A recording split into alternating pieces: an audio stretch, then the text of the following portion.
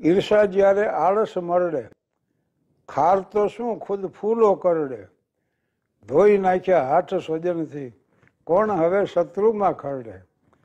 ભૂલ્યા કેમ ભૂલાશો દોસ્તો? ઘાવ હજી તાજા છે બરડે. ઊંડા ઘા તો કંઈક થયા પણ જાન ગયો છે એક ઉજરડે. જીવનભરના તોફાનો ખાલી રહ્યો છું. ફક્ત એના મોગમ ઈશારે ઈશારે. ગમે ત્યાં હું ડૂબું, ગમે ત્યાં હું નીકળું છે મારી પ્રતીક્ષા કિનારે કિનારે. અમારા સુખ અને દુઃખની વચ્ચે સમયના વિના કંઈ તફાવત ન જોયો. બધીએ મજાઓ હતી રાતે રાતે ને સંતાપ એનો સવારે સવારે. રાજકોટ નવીન કાકા ને શંભુભાઈ ને લલિતભાઈ ને આ મિત્રો બધા અમારા એની મજાક મેં એકવાર કરી દીધી. ભાઈ, અમે તમે શું કર્યું ઉનાળામાં? અરે કે અહીંથી અમદાવાદ ગયા બાય કાર ને કાર છોડી દીધી બાય પ્લેન દિલ્હી. દિલ્હીમાં રોકાણા નહીં ત્યાંથી સીધા જમ્મુ અને કાશ્મીરમાં ચાર દી રોકાણા. શું દાલ લેકમાં હાઉસ બોટ રાખીને કે જલસા કર્યા ને? ચાર દી ધુબાકા મારીને પાછા આવ્યા જમ્મુ વળી અહીંથી દિલ્હીને, દિલ્હીની ફ્લાઇટ પકડી હતી સીધા અમદાવાદ. અમદાવાદ મોટું પડી હતું અમારે. ત્યાંથી સીધા આવતા રહ્યા રાજકોટ. મેં કીધું, હવે અત્યારે શું કરો છો? તો કે, અત્યારે એના હપ્તા ભરીશ. એટલે બધી મજાઓ હતી રાતે રાતે અને સંતાપ એનો સવારે સવારે. જે આનંદનું વળતર ઓછામાં ઓછું ચૂકવવું પડે. એ વિશુદ્ધમાં વિશુદ્ધ આનંદ છે. અને અમે દુઃખની દુનિયામાં એક રંગ જોયો. ભલે સુખનું જગ હો પ્રકારે પ્રકારે, સુજનની કબર હો કે ગુનેગાર નહીં હો, છે સરખી ઉદાસી મજારે મજારે. હૃદય મારું વ્યાપક, નજર મારી સુંદર કલા મારી મોહક વિચારે વિચારે, નથી આભને પણ એન, નથી આભને પણ કશી જાણે એની કે મેં ચાંદ જોયા સિતારે સિતારે. ઘણી બાબતો છે ને, એ કાવ્યમાં સંક્ષિપ્તમાં આવરી શકાય છે. પીવી શૈલી એમ કહેતા કે poetry is the best record of the best moments of the best mind ઉત્તમ માણસ જે ના હોય છે ને, એની ઉત્તમ ક્ષણોનો એ ઉત્તમ રેકોર્ડ છે. એની ઉત્તમ ક્ષણોની નોંધ છે. એનું નામ કાવ્ય અને કાવ્ય જે છે એ મૂંગું ચિત્ર છે. અને ચિત્ર જે રહ્યું એ બોલતું કાવ્ય છે. ચિત્ર મોનાલિસા હોય છે, દાખલા તરીકે. ચિત્ર જ છે, પણ ઘણું કહી જાય છે એમ. આપણા દેશી શબ્દો અવારનવાર આપણે વાપરીએ. ઘરનું ઘર છે એને હવે એનો ઊંડો અર્થ એવો છે કે આ દેહરૂપી ઘર છે ને એમાં આત્મા વસે છે. એટલે આત્માનું આ ઘર છે. આ દેહ પાછો જે ઘરમાં વસે એ પછી ઘરનું ઘર. આપણે વાત કરી છે કે અવસ્થા આંબી ગઈ એમ. પણ કેટલી ઊંડી વાત છે કે અવસ્થા આંબી ક્યારે જાય કે તમે ગતિમાં હો ને પાછળ અવસ્થા ગતિમાં હોય. તમારી ગતિ જેદી ધીમી પડશે, તેદી અવસ્થા આંબી જાય એટલે ચરવાઈથી ચરવાઈથી, સાધુ તો ચલતા ભલા. હાલ્યા કરો બસ, ચાલો. અને દુઃખી માણસો હોય ને એ હાલે બહુ. કુદરતની આ પ્રક્રિયા છે. ટેન્શનમાં તમે હો ને, ક્યારે ઊભા થઈને મળો, હાલો. એ તમને ખબર નહીં રહે. એટલે વાત એ છે કે ચાલવું. ઘણી વાર મેં કીધું છે કે એંશી વર્ષની ઉંમરે એંશી લાખની મોટર હોય તમારી પાસે. પણ એના કરતાં જો આઠ કિલોમીટર હાલવાની ટેવડ હોય, શરીરમાં શક્તિ હોય, તો ભાગશાળી ગણવા. તમારી જાતને તમારે ભાગશાળી ગણી લેવી એમ.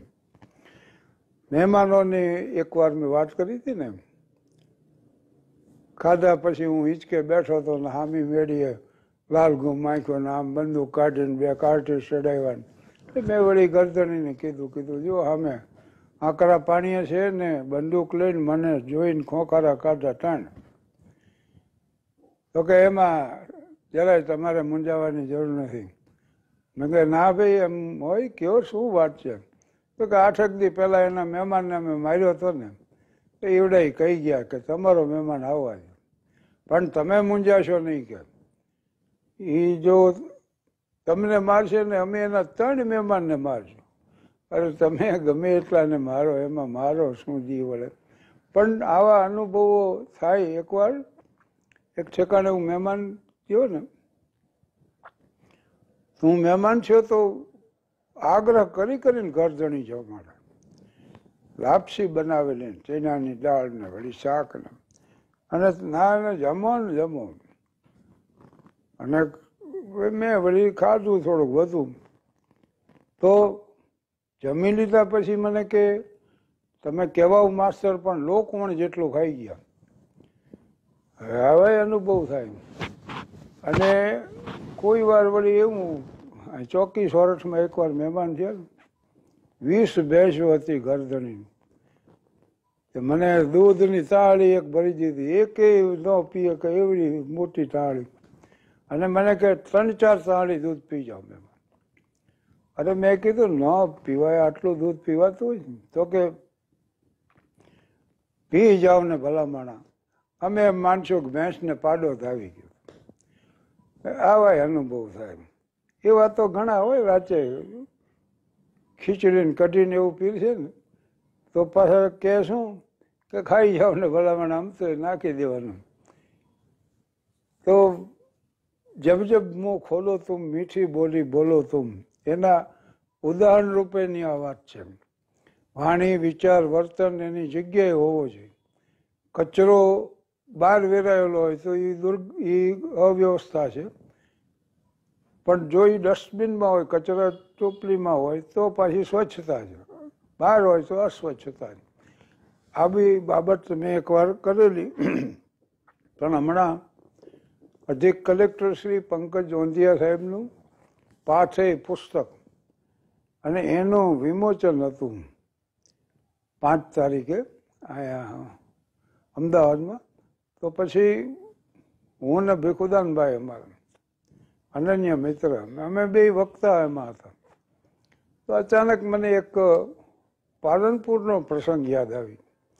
વસંત લખતરિયા અમારા એન્જિનિયર અહીંના થાનના અને એ પાલનપુર હતા ને એ એને ઘણાય વાર મને બોલાવે. આ છવ્વીસ જાન્યુઆરી બે હજાર એક ભૂકંપ જ્યારે થયો ને, ત્યારે હું એને ત્યાં હતો. અને એ ભૂકંપની આખી યાતના જોઈ અને મેં પછી ડાયરીમાં નોંધ કરી ખબર નહીં પલકી, ઓર બાત કરત હે કલકી? છવ્વીસ જાન્યુઆરી મારો કાર્યક્રમ હતો ને, તો જૈન સોશિયલ ગ્રુપને એમ થયું કે આપણે આગલા દિવસે રાખી દે.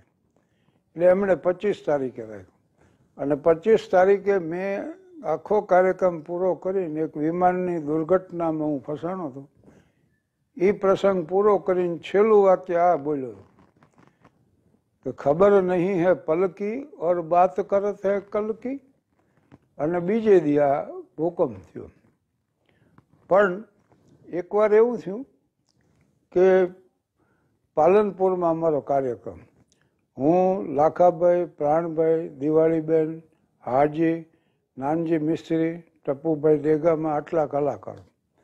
અને ત્યારે છે ને, આ ઈર્ષા ને દ્વેષ ને અંદરો અંદરની હરીફાઈઓ ને એવું તો બધું ત્યારે જ હતું. ઈર્ષાનો તૂટો નહોતો. અત્યારે છે એવું નથી. ઈર્ષા જ્યારે આળસ મરડે ખાર તો શું? ખુદ ફૂલો કરડે. ધોઈ નાખ્યા, હાથ સ્વજનથી કોણ હવે શત્રુમાં ખરડે? ભૂલ્યા કેમ ભૂલાશો દોસ્તો? ઘાવ હજી તાજા છે બરડે. ઊંડા ઘા તો કંઈક થયા, પણ જાન ગયો છે એક ઉજરડે. અમારા મિત્ર છે અમર પાલનપુરીની રચના છે. ઊંડા ઘા તો બહુ સયા પણ જાન ગયો છે એક ઉજરડે. જીવનની એક સંધ્યાએ અમારે જખમોની યાદી જોવી હતી. બહુ થોડા પાના જોઈ શક્યો. બહુ અંગત અંગત નામ હતા. એટલે પાલનપુરમાં અમારા યોજકે જેણે કાર્યક્રમ રાખેલો એ સંસ્થાએ ડોનેશન માટે મોટું ભંડોળ એકત્રિત કરવાનું. હવે એના ગમે વિરોધીઓ કે જે હોય પણ એણે યોજકના નામના તાર કરી દીધા બધાને. કે પ્રોગ્રામ કેન્સલ પ્રોગ્રામ કેન્સલ અને બન્યું એવું કે જેને જેને તાર મળ્યા એને તાર વાંચીને માંડી પડ્યું આવવા એટલે લાખાભાઈ નો આવ્યા, પ્રાણભાઈ નો આવ્યા, નાનજી મિસ્ત્રી નહીં, ટપુભાઈ નહીં. મને તાર નહોતો મળ્યો એટલે હું બેસી ગયો ટ્રેનમાં. પહોંચી ગયો પાલનપુર. દિવાળી બેને એ જ રીતે નીકળી ગયા. દિવાળી બેનને આજે બે હારે આવ્યા. અને અહીંયા જે સ્થિતિ ઊભી થઈ ઓલાનો તો ટેન્શનનો પાર નમરે. અમને મુશ્કેલી એટલી.